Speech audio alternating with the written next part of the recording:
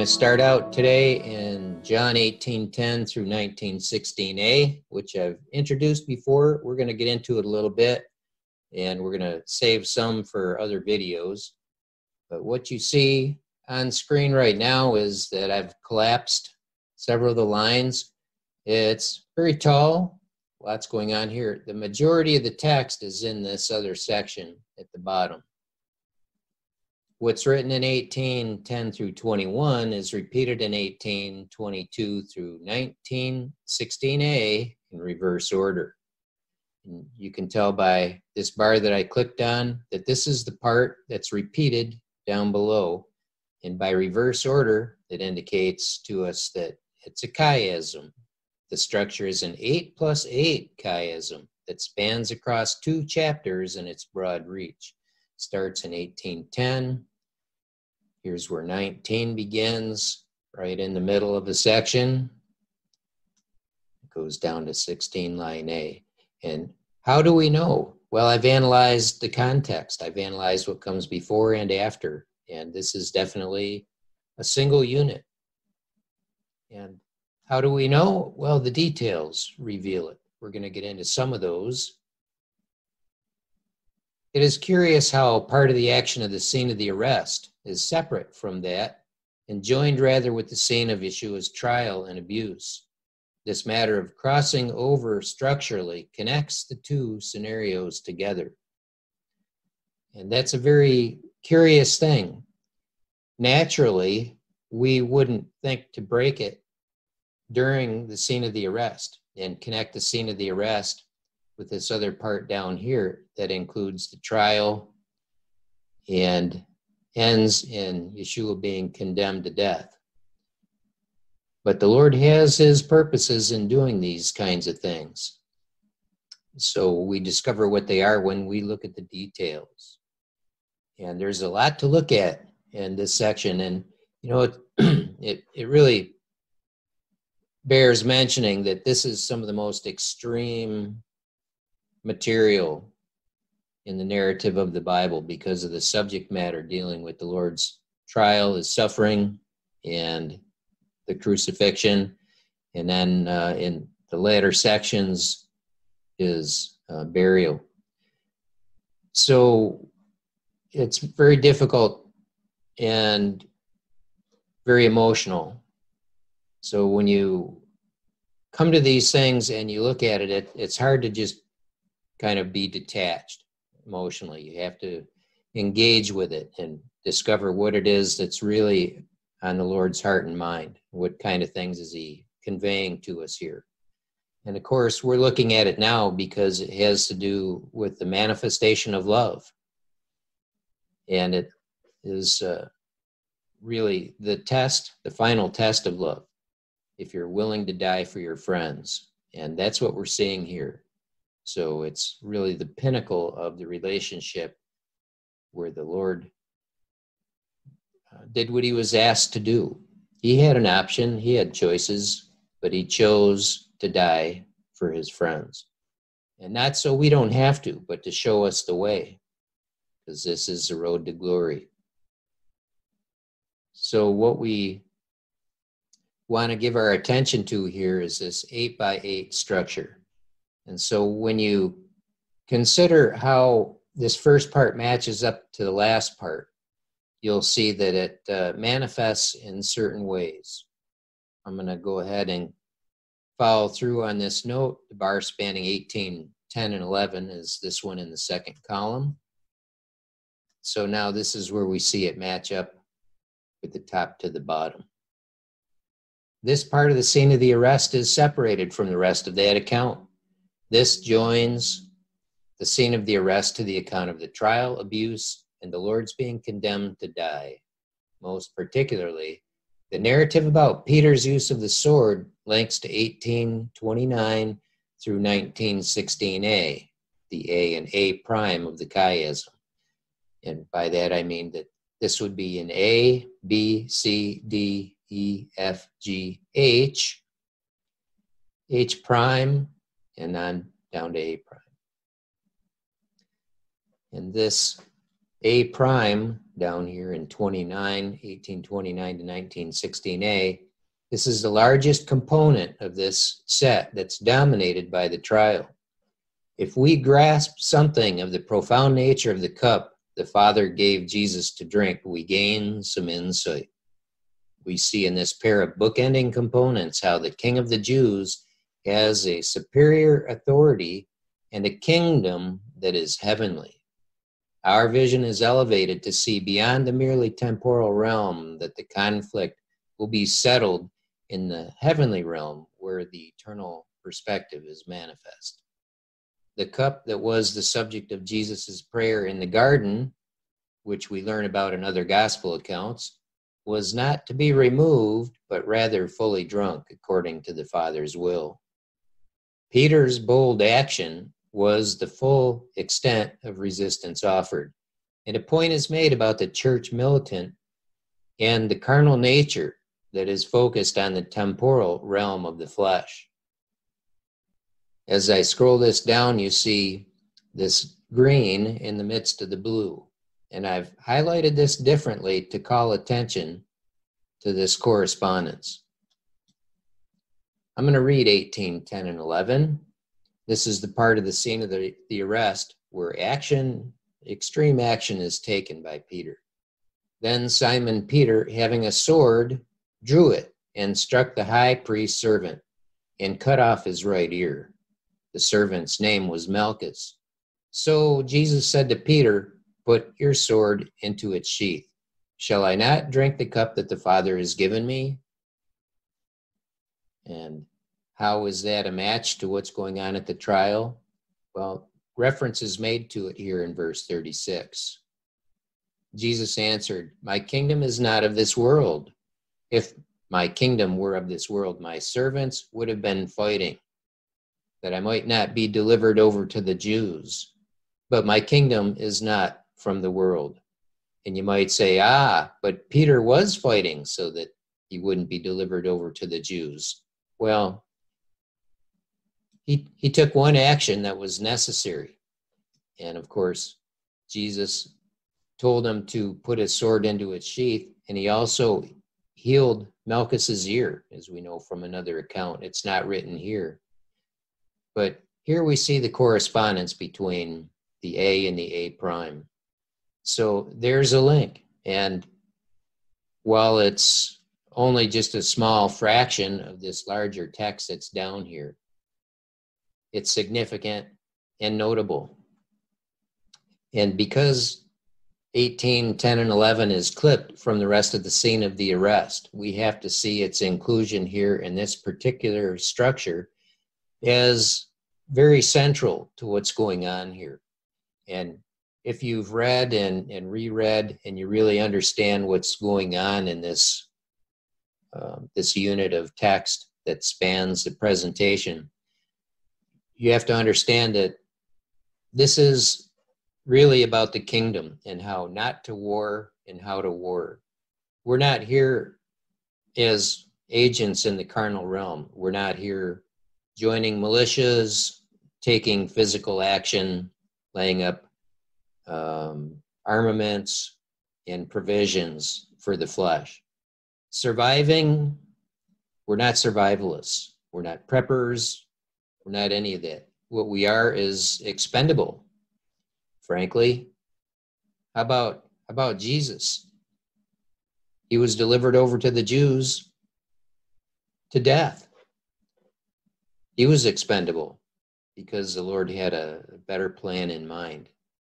Because the kingdom that's of note here is not temporal, not in the physical realm it's beyond that. It doesn't mean it, it doesn't exist. It certainly does exist. It's just in a higher realm. And it spans all the ages. Aaron? And to that point, I just want to mention a couple of things that the Lord brought to mind there that we've talked about uh, a lot. You know, there is a fate worse than death, and you can live too long. So, certain things to keep in mind in, in that context. Absolutely. So, I'm going to read Continue reading in the third paragraph of this comment window. The context makes it pretty obvious that the names are relevant. Malchus In Hebrew, his name is derived from Malek, meaning king. The companion text highlights Jesus of Nazareth as the king of the Jews. The name Simon, right? Right up here, Simon Peter. The name Simon means hearing, and we see him severing the right ear from the head of the high priest's servant. I perceive that a statement is made about the hearing ear and also about the status of Jesus, the real Malchus, Malek, and King during the trial and while suffering abuse. There's more here to learn that I continue to seek after. There's a lot that I don't understand. Next in sequence, the bar spanning 1829 through 1916A. So we're going to drop down to this one here. But before I open that up, I'm going to close this window and walk through this little structure here. So by the way these bars appear in the third column, we can see that the first part is repeated in the second, because these are the companions. How so? In the same order. So what we have on this next level the fourth column is a parallelism. And the A elements are highlighted here, and the B elements are highlighted here. Then Simon Peter, having a sword, drew it. So Jesus said to Peter, Put your sword into its sheath. So Peter draws the sword from his sheath, and then he's told to put it back. Pretty obvious matchup. And down here, we have a curiosity. And struck the high priest's servant and cut off his right ear. The servant's name was Malchus. Shall I not drink the cup that the Father has given me? There's an interesting connection. Are they paired? Well, they absolutely are because we've analyzed the structure and we know that they're paired. So there is some profound insight concealed and revealed in this pairing. And to really understand the cup that the Father's given him to drink, you have to see the connection here between the real high priest who is the king and the relationship of the the hearing ear here. And the, the cup that the father has given him to drink. Of course we understand that he's drinking it. He's choosing to drink that right now. And it's of his own volition free will choice and so um, there's there's a lot more there than i uh, understand at the present. I've had glimpses of it in the past, and I understand it in this next season when when we're in Yeshua's own shoes and uh, going through our own um, season, as I've called it, our final exam, Gethsemane, and then then more insight will be given and more provision will be given us, like it was given to Yeshua. So in this section, I've broken it out into four lines, and the first two are repeated in the second two. How so? It's another parallelism. And struck and cut off his right ear. That's pretty obvious. The high priest servant, the servant's name was Malchus. Again, pretty obvious. And the reason why isn't just to give it a lyrical quality as we read it. The reason why is because there is profound insight that's bundled up in these things. Some of it, it seems obvious, some of it not. This pairing here, not so obvious, very profound. Now, in this next section here, I'm going to click on this commentary window and at this point in time, I'm not going to go through all the detail of how things line up down here. I'm going to get to a certain point, then we're going to move on and save the rest for another video.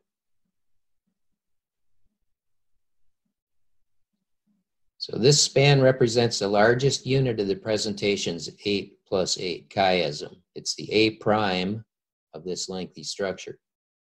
The subject matter represents some of the most significant activity of the age In the narrative of 18, 10, and 11, the A component, we find the scene of the Lord's arrest concluding with some high drama. This text, A prime, is curiously paired with that, featuring the trials and abuse the Lord suffered that concluded with his being condemned to death. I believe that this is really primarily relating to the drinking of the cup. And it's not just for Jesus, it's for those of us who will walk in his shoes. And I mentioned time and again that this is preparation for us. So if you haven't yet come to terms with that, I invite you to do so. It's very sobering. And uh, when I mentioned about the trial in Gethsemane, we've got uh, three studies on the Mount of Olives and what happened in Gethsemane. And if you're not familiar with those, I invite you to um, explore those and kind of make it your own. So what's written in 1829 through 1908 is repeated in 1908 through 16 in the same order as a 4 plus 4 parallelism. And I'm describing the, stru- the structure of this long section here. And I'll explore that further at another time.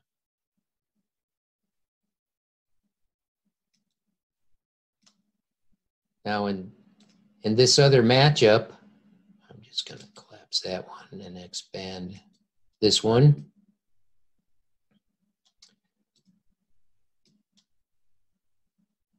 When we read in verse 14 that it was Caiaphas who had advised the Jews that it would be expedient that one man should die for the people, we can see in this concern for expediency a perception of the need for a sacrifice.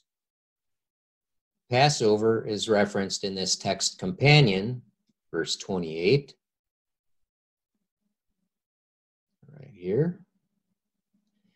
And the mention of a legal requirement that is associated with the feast reminds us of how the willing sacrifice meets every truly legal requirement.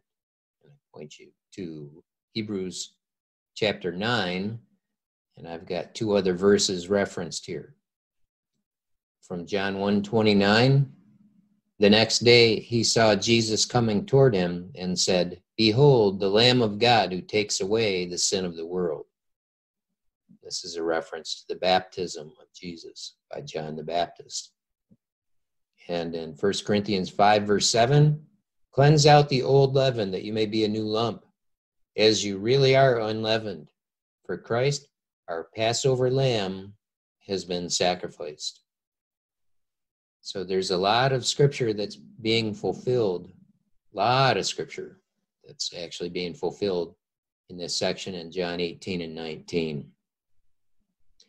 And in these matchups, it's it's really very interesting.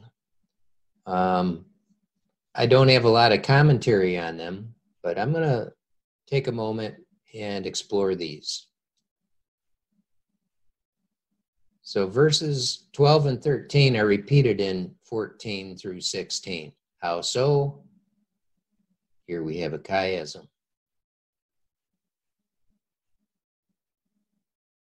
In these inner parts, here we're talking about Caiaphas. For he was the father in law of Caiaphas, who was the high priest that year. It was Caiaphas who had advised the Jews that it would be expedient that one man should die for the people. That's pretty obvious.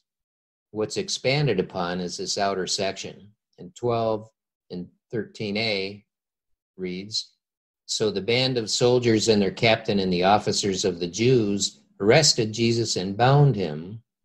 First, they led him to Annas. And so here we have more leading, and we have another disciple who is leading. Simon Peter followed Jesus, and so did another disciple. Since that disciple was known to the high priest, he entered with Jesus into the courtyard of the high priest, but Peter stood outside at the door. So the other disciple who was known to the high priest, yep, there's redundancy, right?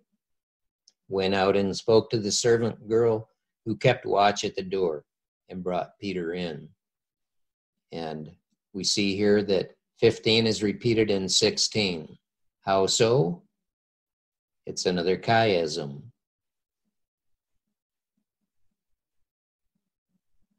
And I mentioned the redundancy, and, and this is really pretty obvious in this middle section. Since that disciple was known to the high priest, so the other disciple who was known to the high priest. And that is a kind of a low hanging fruit situation that sets us up. And, and so we know that these sections correspond in the first to the last. Simon Peter followed Jesus, and so did another disciple went out and spoke to the servant girl who kept watch at the door and brought Peter in. So the intersection here is even more obvious. He entered with Jesus into the courtyard of the high priest, but Peter stood outside at the door. Contrast. So the reason for these is organizational positional, and we see a lot of that in in the in the constructions in this chapter.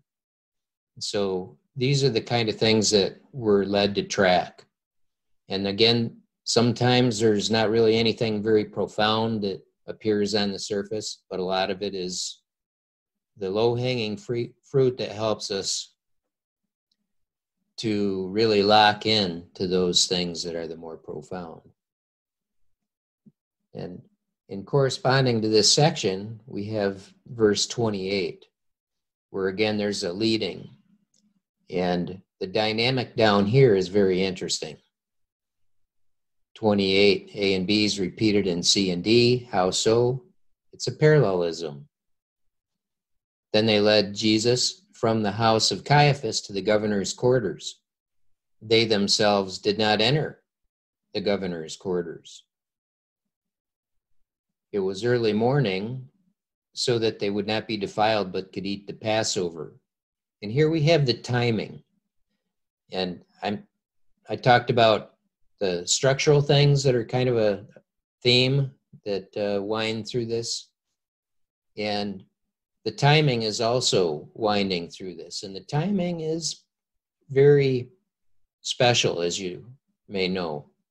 And this kind of sets us up for the next section because here we see the timing isolated. It was early morning so that they would not be defiled but could eat the Passover. And that was important to them. And the religious Jews needed to be able to eat the Passover. This is something that uh, is very ironic because who's really the Passover lamb here? And what are they doing? Well, they're preparing for that sacrifice. And there is a fulfillment of the Passover, not the final, complete fulfilling of the Passover, but this was a significant fulfillment. And so these people are all kind of carrying out their roles, doing what they need to do. And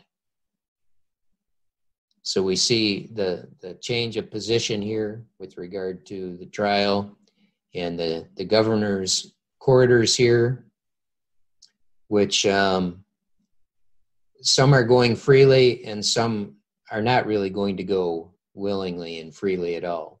And in the companion section up here, this is the kind of dynamic that we see here. Peter couldn't go in, but it's arranged by the other servant, so Peter could go in. So the themes here are, are pretty obvious. And because of the timing issue that's brought up, again, we're really set up for this next set. So I'm going to collapse those. And this one should be familiar. As I introduced this in a previous video, together with its structural companion, 1825b to 27, in the lighter blue, this text is of particular interest. Peter's series of denials fulfills what Jesus had prophesied to him earlier that day. John 13, 38, Jesus answered, Will you lay down your life for me? Truly, truly, I say to you, a rooster will not crow until you deny me three times.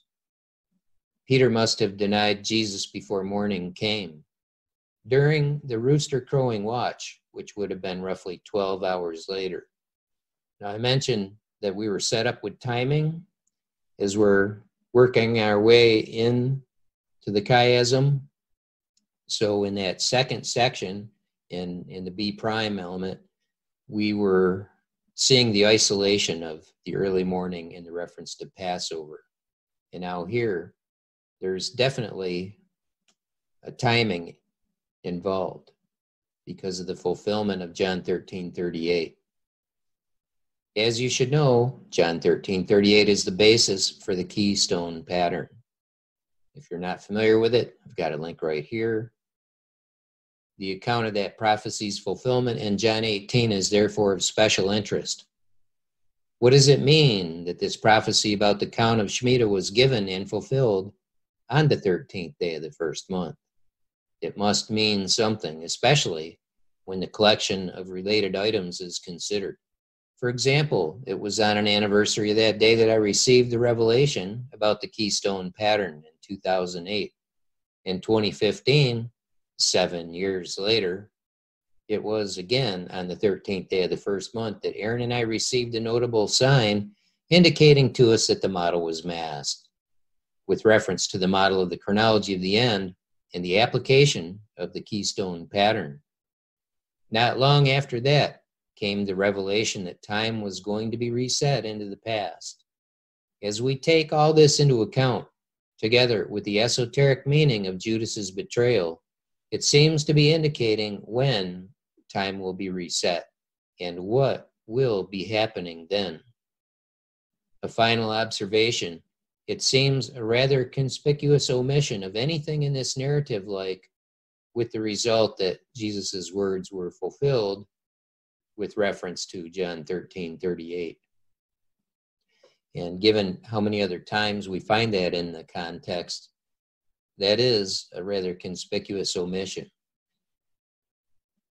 I'm going to just show you what the structure is here. As I hover over the first line, we see that there is no completion in this first section alone.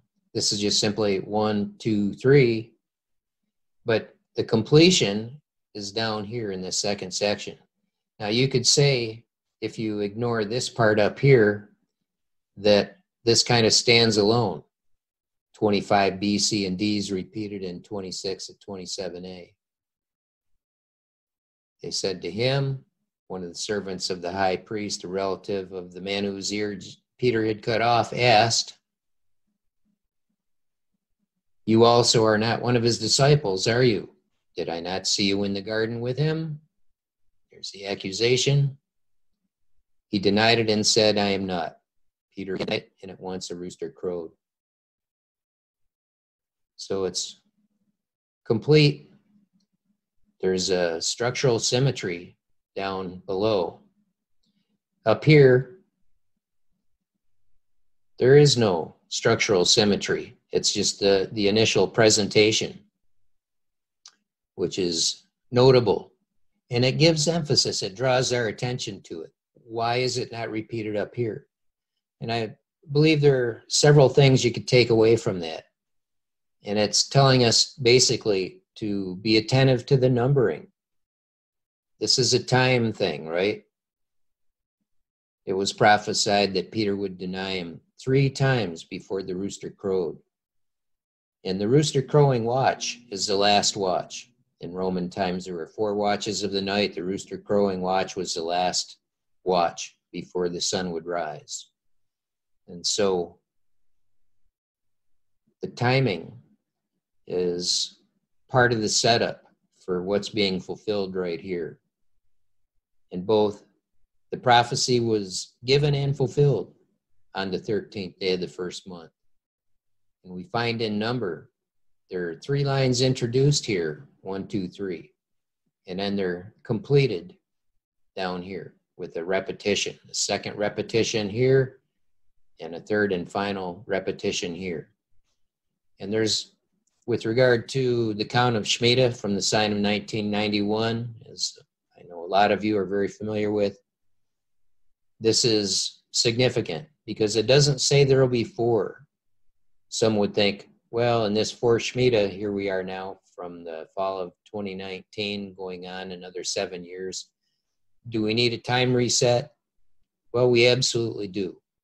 At no point is it declared here that you'll deny me four times.